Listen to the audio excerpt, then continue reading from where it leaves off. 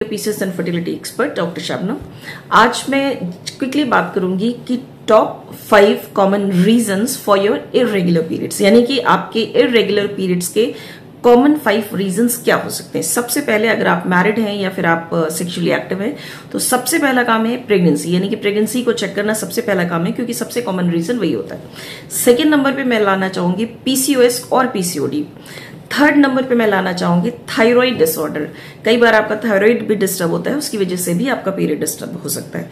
Fourth number पे मैं लाना चाहूँगी स्ट्रेस अगर आप बहुत ज़्यादा स्ट्रेस्ड आउट हैं तो भी आपके पीरियड में इरेगुलरिटी आने के चांसेस होते हैं. फिफ्थ नंबर पे मैं लाना चाहूँगी। अगर आप बहुत ज़्यादा ओबीज अचानक से हो गए हैं या बहुत ज़्यादा लीन एंड थिन है तो भी आपके पीरियड में इरेगुलरिटी के चांसेस होते हैं। उसके अलावा एक और चांस क्विकली हम कर लेते हैं कि अचानक से अगर आपने बहुत ज़्यादा वेट बहुत ज़्यादा एक्सरसाइज कर ली तो भी हो सकता है। अगर आपको मुझसे कंसल्ट करना है तो आप